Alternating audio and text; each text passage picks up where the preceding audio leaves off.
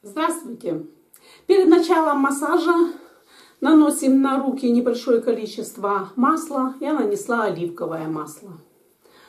Э, ноги немножко можно распарить и одеть в теплые носочки. Дальше делаю попеременно, снимаю, конечно же, носки.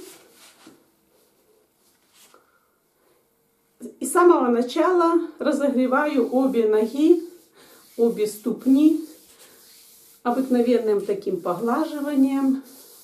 Не удивляйтесь, ножки мои с этими шишками, которые я размассажировала и которые уже давно не болят, но они присутствуют.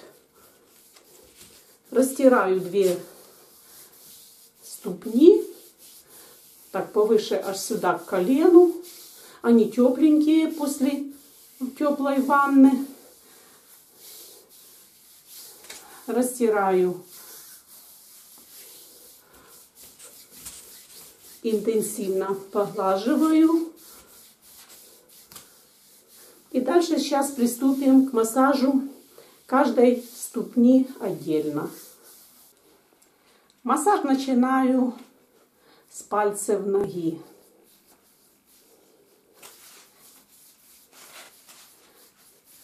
Хорошо растираю их.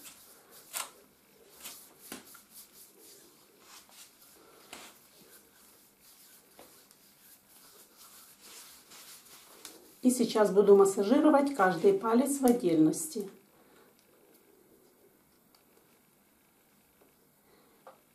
Четырьмя пальцами. Два пальца внизу и два вверху.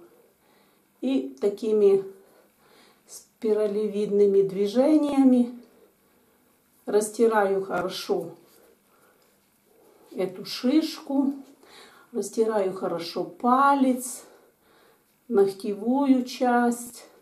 У многих уже в возрасте после 60 ногти утолщаются из-за того, что плохое кровообращение. Поэтому уделяем внимание хорошо этой части сверху. Дальше массажирую Поворачиваю ногу и массажирую палец сбоку. Хорошо придавливаю. Потому что здесь еще и зона позвоночника. Если, мы, если у кого-то болит спина, то нужно массажировать, потому что вот это вверху, это отдел, отдел верхней части – это как голова. Дальше средняя часть. И здесь уже позвоночник внизу, поясничная часть. Поэтому это все хорошо растираем. И так и с оттягощением немножко вытягиваем. Поворачиваю этот палец со стороны подошвы и тоже хорошо его растираю. Немножко вот так прокручиваю. Для того, чтобы это было хорошее такое движение, и этот палец ощутил это движение, этот массаж, э, не наносим очень большое количество масла для того, чтобы было какое-то вот сцепка пальца с стопой, с ногой. Так, хорошенько растираю эту часть. И вот так огибает палец большой с, со стороны подошвы. Здесь как раз зона щитовидной железы. Вот она. Это зона. Вот так. Поэтому вот эта часть очень важна для такого хорошего массажа. Это мы массажируем только первую фалангу, фалангу большого пальца.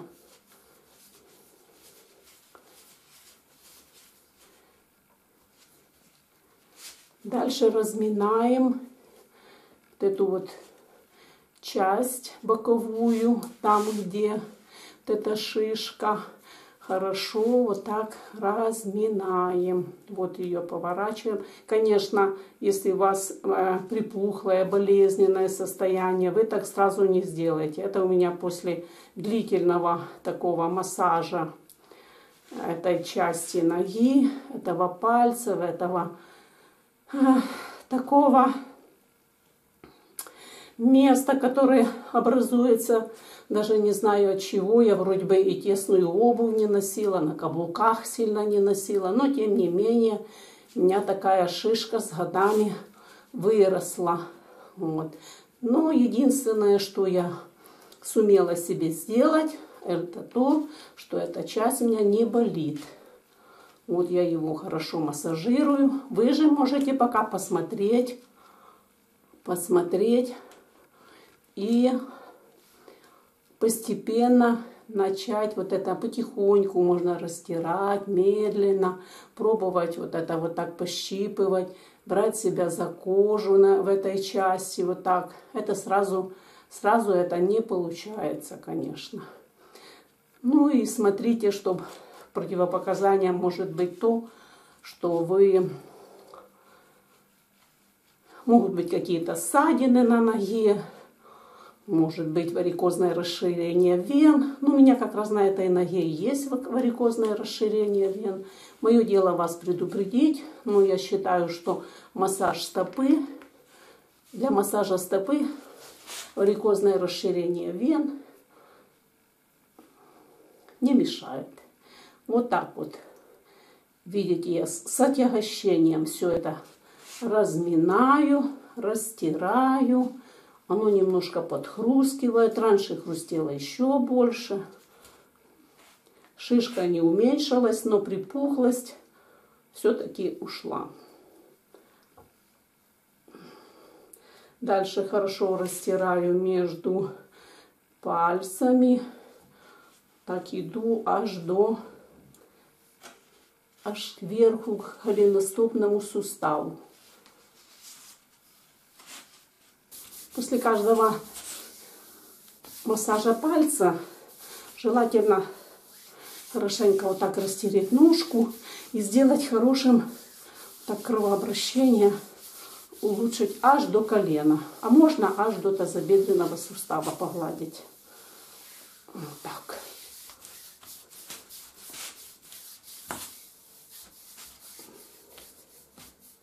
Так, дальше приступаем к массажу второго пальца. И также медленно, не спеша массажируем его четырьмя пальцами. Сверху двумя идем и внизу два пальца. Каждый палец отвечает за какую-то часть организма. Вот эти вот два пальца, они отвечают за ноги. Вот, вот эти два за ноги, мизинец и этот, эти два за руки. Вместе с тем это как туловище, голова, туловище и ноги, каждый палец в отдельности. Поэтому очень важно держать пальчики не в болезненном состоянии. Смотреть, чтобы ногти не утолщались, не деформировались. Выравнивать их вот так придавливая чуть-чуть. И сюда кверху к голенестопному суставу проходить глубоко, надавливая.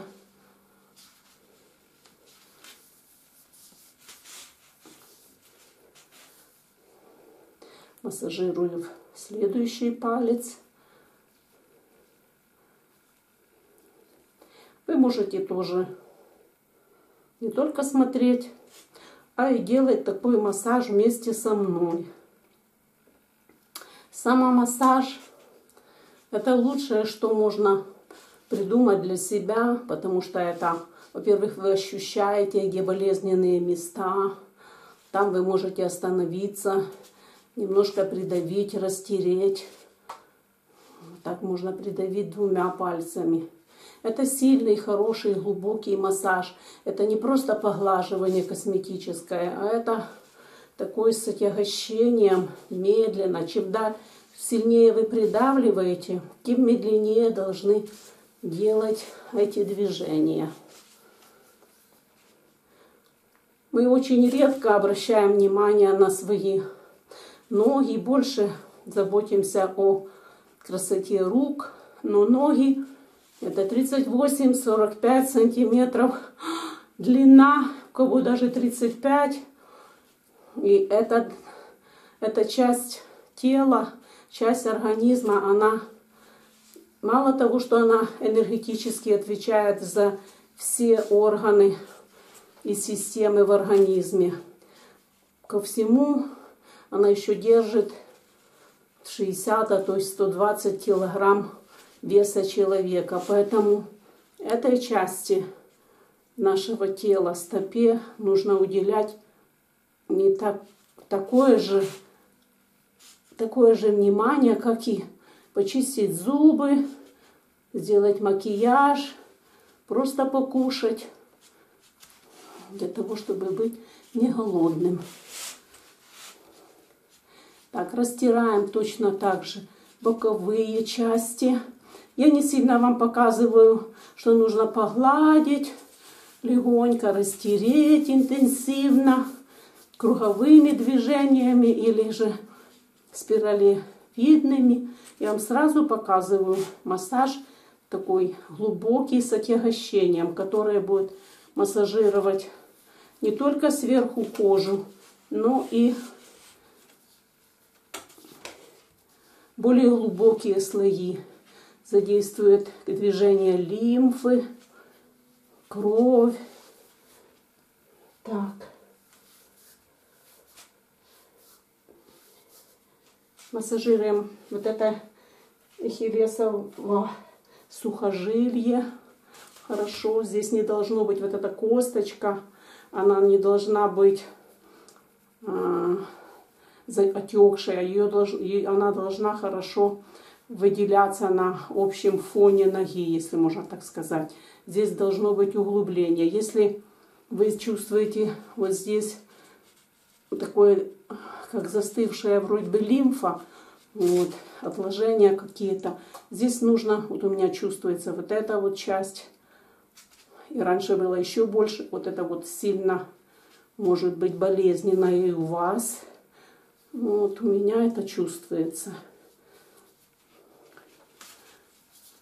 Массажируем пятку. Хорошо растираем ее. И немножко массажируем сюда ногу, коленки. Все, все э, движения идут сверху, снизу вверх по лимфе вверх. Так, растираем эту часть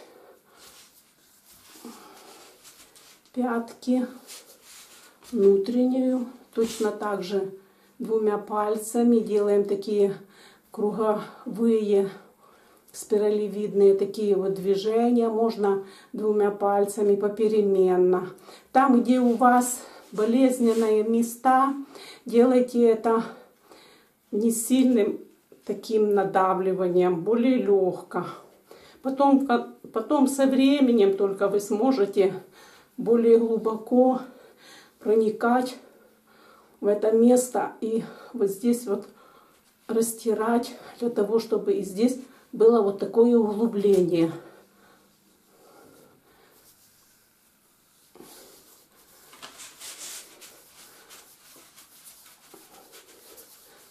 Делаем такую, как говорили в детстве, крапивку.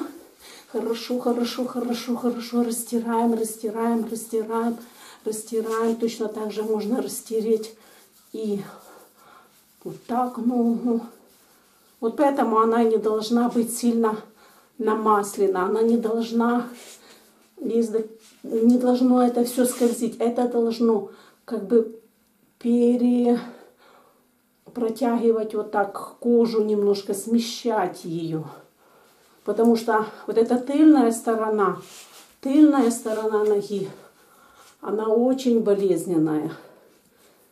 Не только потому, что у меня такие ноги, скажем, не... Короче, вы поняли. Вот. А из-за того, что, а из-за того, что оно здесь годами, если его никто не делал, хороший массаж. А еще раз напоминаю, никто, кроме вас, хороший массаж вам не сделает. Вместе с массажем одновременно вы, вы укрепляете свои руки. Вот, потому как многие, когда рекомендовала такие массажи, у меня нет сил в руках. Вот, и разрабатывайте, убивайте, так сказать, двух зайцев делайте массаж ног, массаж пальцев, массаж подошвы. Вот. Так, хорошенько придавливаем пятку. Вот здесь вот так хорошо, как насколько вы можете достать. Здесь тоже точки и желудок, и кишечник. По центру это три точки цветочки, почки. И не важно, что вы там, не важно, что вы не знаете, где какая точка находится. Это абсолютно не имеет никакого значения. Вы можете, конечно, и посмотреть, где какие точки. Важно то, чтобы вы, массажируя и чувствуя где-то боль, вы постепенно, постепенно улучшаете кровообращение, улучшаете энергопоток и улучшаете общее состояние организма. Вот. Так можно сделать массаж себе всего тела. Сегодня одну ножку и другую, завтра ручки, послезавтра животик. И так постепенно вы можете как-то улучшать здоровье всего организма. Можно вот так, вот ребрами пальцев.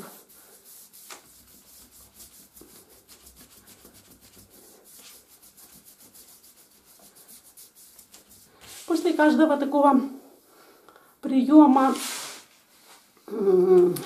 немножко болезненного, да, мы можем погладить, сделать такие поглаживающие движения. Вот. Я для себя делаю точечный массаж, но это только уже после того, как э, вы, если у вас болят ноги, если у вас такие же ноги, уже не молодые, как у меня, и у вас есть, чувствуются болезненные места, вы начнете постепенно, потом уже делать более глубокий массаж. Я вот чувствую, где у меня какие-то неровности, какие-то вот шишечки. Вот они чувствуются. Это все надо, конечно же, убирать, разминать. И никто, никто вам этого не сделает, если вы сами себе этого не сделаете. И чем раньше, и чем раньше, тем лучше. Я когда работала массажистом, люди очень любят массаж стоп. Очень любят. Здесь находятся все зоны, в том числе и эрогенные зоны, поэтому как важно массажировать ножки муж жене, жена мужу. Это очень приятное и вместе с тем очень полезное мероприятие, если можно так сказать. Вот, вот тут вы хорошо. Когда размассажируете себе хорошо вот тыльную сторону, подошву, пальчики сами по себе начинают, и пальцы ж, конечно, они становятся, они распрямляются, они не сгибаются, ногтики ровненькие. Ну, шишка, ну что, Шишка есть шишка. Она, конечно, не уменьшается намного, но она хотя бы не беспокоит. Хорошо походить на чем-то таком колючем, или это аппликатор Кузнецова, или как у меня прономат – Вот. Хорошенько еще после массажа двух стоп разминаете ножки еще таким маленьким иглоукалыванием, если можно так сказать.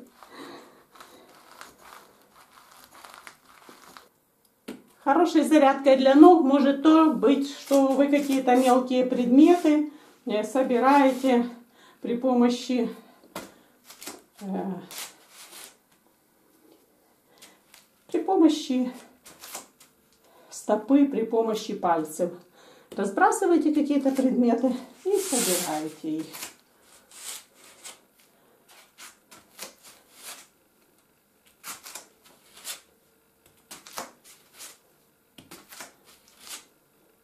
Все, на этом мое видео о массаже моих стоп заканчиваем. Будьте здоровы, делайте такой массаж, пишите комментарии, понравилось ли вам это видео, полезно ли оно вам оказалось. И до следующих моих упражнений и рецептов. Будьте здоровы!